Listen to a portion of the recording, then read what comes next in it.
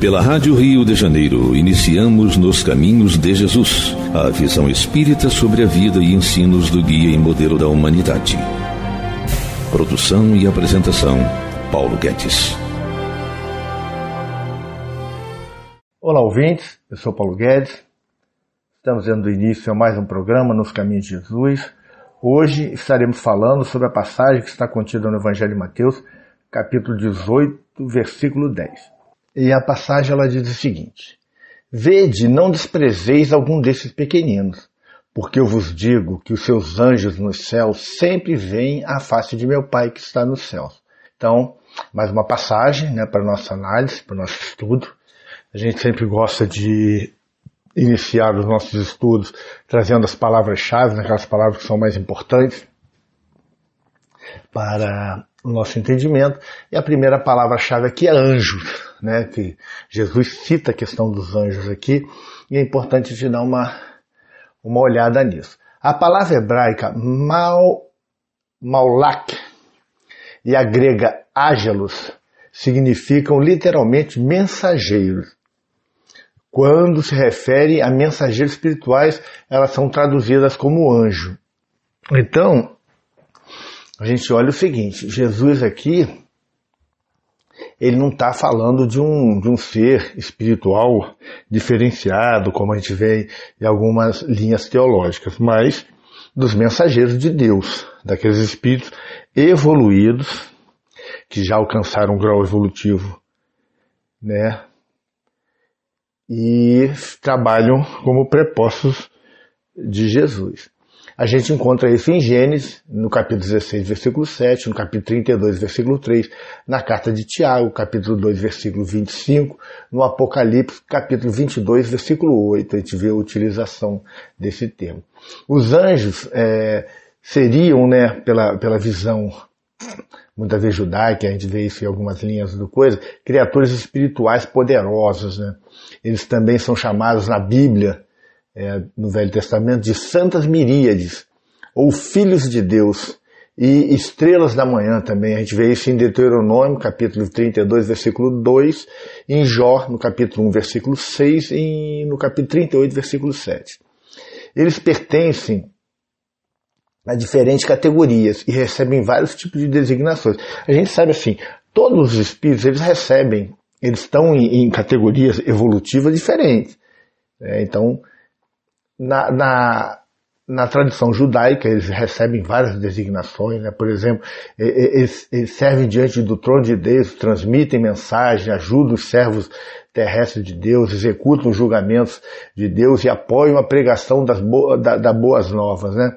Isso a gente vê tudo no Velho Testamento, no, na segunda carta dos reis, né? capítulo 19, segundo reis, quer dizer, capítulo 19, versículo 35, Salomão capítulo 34, versículo 7, Lucas capítulo 1, versículo 30 e 31, Apocalipse capítulo 5, versículo 11 e capítulo 14, versículo 6.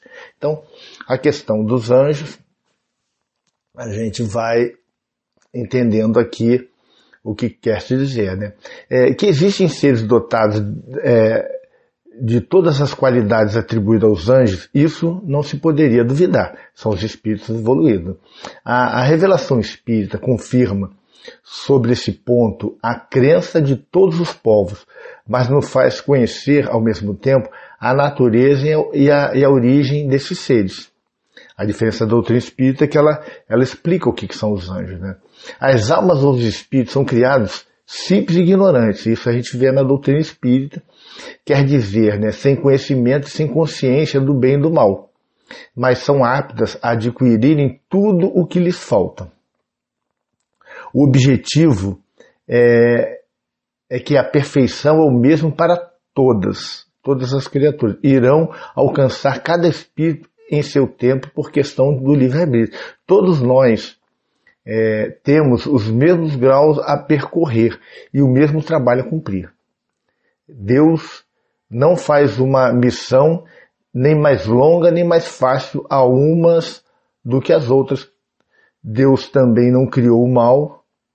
Todas as suas leis são para o bem, Foi o próprio homem que criou o mal ao infringir as leis de Deus. Se as observasse e as seguisse, jamais seriam, sairia do bom caminho. Isso a gente vê isso tudo dentro da doutrina espírita. Deus não dá experiência, mas os meios de adquiri-la. É, cada atitude maldosa é um atraso e sofre as consequências e aprende às suas custas o que deve evitar. É assim que, pouco a pouco, se desenvolve as perfeições e avança na hierarquia espiritual, até que tenha alcançado o estado de puro espírito ou anjo, que a gente fala assim, esferas angelicais. Né? Os anjos são então as almas dos homens que chegaram a um grau de perfeição que o espírito comporta, aproveitando da plenitude da felicidade prometida. Então, o que, que os espíritos chegando ao ápice da evolução a gente diz que chegaram ao, ao, ao, reino angelical, né? Quem seriam? A gente sabe que tem o reino nominal, que é a nossa condição atual, e existe angelical, que são os espíritos que alcançam a pureza. Antes de atingir esse grau supremo, aproveitam da felicidade relativa ao seu adiantamento espiritual. Mas essa felicidade não é ociosidade, é a das funções que faz Deus confiar no espírito e dar ocupações maiores para ajudar a progredir mais. É, a humanidade não está limitada à Terra, isso a gente, ela ocupa inumeráveis mundos que circulam o espaço. Povoou aqueles que desapareceram e povoará aqueles que se formarão. Deus tem criado por toda a eternidade, gente, e criará sem cessar. Muito tempo antes, pois de que a Terra existisse, por antiga que a suponhamos, teria havido e outros mundos de espíritos encarnados que percorreram as mesmas etapas que nós, espíritos mais recentes, percorremos neste momento e que alcançaram o objetivo antes mesmo que tivéssemos saído das mãos do Criador. De todas as eternidades houve, pois, anjos ou espíritos puros, mas a sua existência humanitária, perdendo-se no infinito do passado, é para nós como se tivesse sempre sido anjos. Claro, sempre, assim, a gente pensando na eternidade, a gente vai imaginar que espíritos puros tem já há muito tempo. Então isso aí é, uma, é um estudo que está no, na Gênesis, né, no seu inferno, também a gente encontra sobre isso, então a gente entende aí a, essa passagem. Vamos lá. É, tem assim, vede, não desprezeis, quando Jesus fala dos pequeninos. Ao, ao usar a palavra pequeninos, naturalmente que Jesus não deixou de se referir às crianças no sentido literal do termo. Porém, gente, ao mesmo tempo, aludiu aos pequeninos na fé, os crentes recém-convertidos, fracos ainda na fé. É, neste texto, a, a criança é símbolo da crença ideal, isto é, o crente simples, a pessoa que crê, mas tem simplicidade, que é humilde, o, que, que é dotado de fé e humildade, características que são próprias das crianças, claro, antes delas serem afetadas pelas influências do mundo, né? Que tem muitas influências pecaminosas, que, que levam as paixões. Então, antes disso, nesse versículo, Jesus descreve o pecado que consiste de desprezar os outros. Antes já mostrara que também são graves é, pecados, né? ofender, maltratar, fazer tropeçar ou levar outros a pecarem. Isso Jesus já viu, a gente viu nos versículos anteriores. Todavia, é pecado falar ou agir com ódio da humanidade, quer a vítima seja uma criança, no sentido literal, quer seja um adulto, qualquer pessoa. A vida humana é sagrada. Isso torna-se tão mais evidente no caso das crianças ou crentes em Jesus, isto é, seus discípulos. Fica muito evidente. Esse versículo é um desdobramento do versículo 5. Então a gente vê que Jesus está voltando aqui ao tema para aprofundar um pouco mais, para que a gente possa realmente conseguir entender aí essa questão do, do, do, do fazer mal, né, do, do destratar. E aí Jesus fala assim, o desprezar. No sentido literal, a palavra dá origem a essa tradução significa subestimar, o que inclui a ideia de que aquele que age dessa maneira mantém um espírito de orgulho ou de, de superioridade. Jesus ensina que a, que a personalidade humana, tanto da sociedade em geral como do indivíduo em particular, é algo precioso por ter sido criação especial de Deus. E assim como os discípulos de Jesus, que somos, né, todos nós, não podemos desprezar a ninguém, gente. É, por, à vista de Deus, todos temos imenso valor. Se Deus a ninguém despreza, como nós ousaríamos desprezar a quem quer que seja? Uma atitude mental errônea também pode ser pecado. Pensar mal do outro, desejar uma coisa errada ao outro, já é uma maneira de errar. Os princípios éticos de Jesus procuram controlar os pensamentos e atitudes, e não apenas as ações. A gente vê que quando fala do adultério, aquele que olhou para uma mulher e com olhos de, de cobiça já cometeu adultério, que Jesus fala, fala isso. Então, o pensamento já tem, tem um papel importante. Na realidade, é, as ações são determinadas pelos pensamentos e atitude. O apóstolo Paulo é, expressou né, a mesma ideia ao dizer assim: em lugar de seres orgulhosos, condescendentes com o que é humilde, não sejam sábios aos vossos olhos, conforme está em Romanos capítulo 12, versículo 16. Todo aquele que ama o próximo como a si mesmo não pode desprezar seus semelhantes. A lição que temos é, nessa passagem é elevada, profunda, mas é esse é o padrão de vida para aquele que crê em Jesus. O Senhor Jesus seguiu esse padrão porquanto amou até os seus inimigos, fez o bem e sempre teve paciência e usou de misericórdia para com todos. E ele exige a mesma coisa de nós, daqueles que se dizem seus discípulos. Isso é uma, é uma, é uma condição que Jesus coloca. A gente tem que estar sempre atento a tudo isso, né? Porque senão a gente perde o, o entendimento daquilo que Jesus quis dizer. Então a gente vai aos poucos compreendendo o Jesus falar do desprezar, desprezar as pessoas, de, de tratar mal, isso tudo não está de acordo com a maneira de ser do cristão. Isso a gente tem que ter muita consciência disso. É, vamos fazer um pequeno intervalo e já retornamos com o programa Nos Caminhos de Jesus. Até já. Estamos apresentando Nos Caminhos de Jesus, a vida e ensinos do guia e modelo da humanidade. Apresentação: Paulo Guedes. Estamos de volta. Hoje estamos falando sobre a passagem que está contida no Evangelho de Mateus, no capítulo 18, versículo 10. E essa passagem ela fala o seguinte: Vede, não desprezeis algum desses pequeninos, porque eu vos digo que os seus anjos nos céus sempre veem a face do meu Pai que está nos céus. Então, Jesus falando que nós não podemos desprezar ninguém. Quando ele fala dos pequeninos, ele está falando de todos os seres humanos, os mais humildes, aqueles que nós achamos que são desprezíveis, né, que na realidade ninguém é desprezível, é, a fim de, é desse que ele está falando. Vamos lá. A fim de, de ilustrar e reforçar a sua doutrina sobre a importância dos pequeninos, Jesus afirmou a validade da doutrina judaica sobre os anjos da guarda. É, o, o, o, o, judaísmo tinha uma crença no anjo da guarda e Jesus reafirma essa, que os nossos anjos da guarda, os espíritos superiores, eles veem a face de Deus. E, e é só, eu vos afirmo que os seus anjos veem incensamente a face do meu Pai Celestial, Jesus falou. Entre os judeus era comum a crença de que cada nação tinha seu anjo da guarda.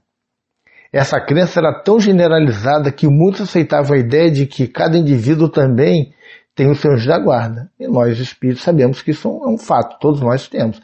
Esse versículo parece indicar que as crianças, literalmente falando, são objetos especial do cuidado e do amor de Deus. Todo aquele que é simples, né? Todo, principalmente as crianças que ainda estão em terra idade, claro que estão, tem, tem um, tem um cuidado especial e do amor de Deus, né? Todos nós temos, né? Na, na corte dos monarcas orientais, somente alguns privilegiados tinham o direito de ver a face do rei. privilégio este negado até mesmo aos embaixadores de outros países e governos. Jesus indica, pois, que os servos, os anjos das crianças, têm um alto privilégio no serviço de Deus. Todo espírito evoluído tem um, contato, uma visão de Deus diferenciada da nossa. Quanto mais evoluído, mais próximo de Deus, mais se entende a natureza de Deus, mais se conecta com Deus. Isso a gente tem que ter bem claro nas nossas mentes. Esta lição, gente, ensina que a personalidade humana tem um valor imenso e também ensina o teísmo em seu grau mais elevado, ao invés do deísmo. Isto é, vamos esclarecer. Deus não somente criou o mundo e a vida humana, mas até hoje mantém interesse por sua criação, mantendo contato com o mundo e dirigindo. É o teísmo. Né? Deus criou o mundo, criou a vida humana e continua dirigindo o mundo até hoje. Não criou e abandonou. O, o deísmo estabelece que Deus, talvez, um Deus de natureza indeterminada, tenha criado este mundo mas que há muito tempo deixou sua criação e nada tem a ver com ela. É como se Deus tivesse criado o mundo e largou o mundo de mão. Claro que a gente não pode acreditar numa coisa dessa, né? A referência sobre a doutrina de anjos da guarda são as seguintes. Daniel, capítulo 10, versículo 13. As nações têm seus anjos. Apocalipse, capítulo 1, versículo 20. Jó, capítulo 33, versículo 2. Jó tinha um anjo, ele fala, né? Hebreu capítulo 1, versículo 14. Ensina o ministério dos anjos e por, e por favor dos verdadeiros discípulos de Cristo. A gente também vê lá no Salmo 34 e 91, versículo 11, é, estudando a questão da doutrina judaica, descobrimos a crença de que um anjo tinha a aparência ou a forma da pessoa que era guardada por ele como se espelhasse, né? Isso, isso no judaísmo. A gente sabe que o anjo da guarda, na realidade, não é ninguém com, é, com, com asas, nada disso. É um espírito como nós, só que alcançou um grau evolutivo diferenciado. É, talvez Atos, no capítulo 12, versículo 15, reflita essa crença. Talvez a experiência humana da projeção é, da psique, né, a viagem da alma fora do corpo, que é possível, a gente sabe disso, é, a essa doutrina, sabemos que às vezes pode ser visto aquilo que se tem chamado de corpo astral, o qual de fato tem a aparência do indivíduo. A gente sabe disso. Nós espíritos então sabemos da questão do desdobramento, da emancipação da alma, sabe tudo isso. Né? Então a gente tem essa, essa visão. Jesus falou usando os termos judaicos ligados a essa crença. É claro, Jesus sempre usava os termos judaicos porque estava falando para o povo judaico. Mas isso não indica que a crença não seja válida, gente. Né? A gente sabe, adaptando, a gente tem que entendê-la de forma melhor, porque naquela época o entendimento não era tão, tão abrangente como hoje temos, por causa da doutrina espírita, mas dá para a gente entender. Há outras passagens que também indicam a validade do ensino. Tem várias passagens. A literatura judaica usa a expressão anjo da face aludindo à crença de que os anjos tinham acesso à presença de Deus. Então, é um termo utilizado. Miguel, que é um dos anjos, né, tinha o nome de príncipe da face. Suriel, um outro, para os judeus, o nome, é, é que, é, que é o nome de outro anjo, tinha o nome de príncipe da face. Não, o é, príncipe da face era Miguel. É, Suriel era príncipe das faces também, é a mesma coisa. O que indica que ele era um dos, do, dos principais anjos que tem acesso à presença de Deus. Então, no dizer de Lucas, no capítulo 1, versículo 19, Gabriel alegra-se sempre na visão beatífica, porque diz: Eu sou Gabriel que assisto diante de Deus. Então, a gente vê que no judaísmo tinha essa crença de que os anjos assistiam, que estavam frente a frente com a face de Deus. O que quer dizer isso? Que são espíritos puros, como Jesus, que têm já o intercâmbio direto com Deus e conseguem se comunicar com Deus. Nós ainda temos dificuldade nisso devido ao nosso pouco grau evolutivo. Nossa, a, a, a gente tem pouco alcance espiritual. Onde a gente consegue ir mais longe é quando fazemos prece. E assim mesmo, dependendo de cada um, a prece alcança esferas mais altas ou menos altas. Isso é um fato que a gente tem que ter em nossas mentes. Jesus mencionou essa crença e usou-a para ilustrar o grande valor da personalidade humana. Deus tem tanto cuidado pelos homens que envia os seus anjos para protegê-los e guiá-los. Essa é mais ou menos a, a mensagem que está aqui. Todos nós, por devido ao grande amor de Deus, ele designou, na, está na, na ordem divina, né, na, nas leis divinas, que todos nós que estamos em processo evolutivo temos um anjo da guarda, um guia, para nos orientar, para nos intuir, para tentar nos encaminhar ao caminho que é o do progresso espiritual. Se Deus tem tanto cuidado pelos pequeninos, que nunca os despreza, então nenhum homem pode desprezar a outro, especialmente se for uma criança, quer no sentido literal, quer no sentido figurado, ou seja, a um discípulo de Jesus, um aprendiz. O que fica aqui é assim, se, se Deus não despreza nenhum de nós, nós também não temos direito a desprezar nenhum dos nossos irmãos de humanidade. Fica patente, fica claro isso para todos nós. E a gente pode concluir que o ódio contra alguém, ou mesmo um pensamento malicioso acerca de, de alguém, é um grande erro, é um grande, entre aspas, um grande pecado. Além disso, lembrando-nos do contexto, notamos que a doutrina de Jesus acrescenta a regra da verdadeira grandeza, o que, contraria, contrariamente às noções populares, não consiste dos aplausos do mundo. A crença de Jesus, ela, ela, ela abrange essa regra de grandeza, da verdadeira grandeza. A gente sabe que o mundo, é, é, falando no campo espiritual, ele é todo escalonado. Existem esferas espirituais de diversos graus. A gente vai galgando esses graus conforme a gente vai evoluindo. Esse princípio ele envolve é, três coisas. Baseia-se numa nova relação, a de pai para filho, é a relação nossa com Deus. O homem converte-se a Deus, torna-se filho de Deus. É como se fosse assim. É, o homem que não é convertido, ele não quer saber de Deus. Ao se converter, ele, ele se interliga com Deus como se fosse o filho. Porque todos, todos somos filhos de Deus. É, vamos lá. O, é, Mateus fornece-lhe também esse detalhe, lá no capítulo 18, versículo 3 e 5, ele te vê isso, é, de seu evangelho. É, essa conversão à nova relação com Deus a, uma humildade infantil ao tratarmos com os nossos semelhantes que o homem, o que é humildade? É, é, como se comportar como uma criança. Uma criança, ela não tem rancor, ela não tem raiva. É, é, é, é você briga com ela, daqui a pouco tá tudo bem. Ela, ela não, não, não guarda ressentimento. Nessas condições é impossível maltratar os outros, fazer os outros pecarem ou desprezar a, quer, a quem quer que seja. A segunda, a, a segunda coisa é o seguinte: é, envolve serviço prestado aos outros e não o desejo de ser servido. Quanto mais a gente vai evoluindo, mais a gente sente prazer no servir e mais vai querendo que os outros nos sirvam. Gente, o querer que os outros sirvam ainda é uma, uma posição de espíritos atrasados como nós, que queremos ter poder sobre os outros, queremos mandar, queremos que tenham pessoas que, que são é, subordinadas a gente.